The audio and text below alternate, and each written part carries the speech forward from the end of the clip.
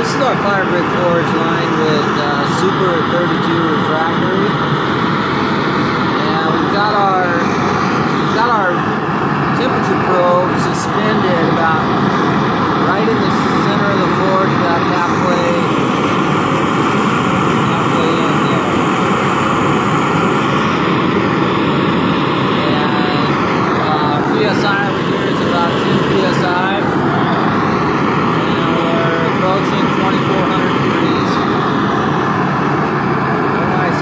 this is uh, this is within three minutes of firing it up.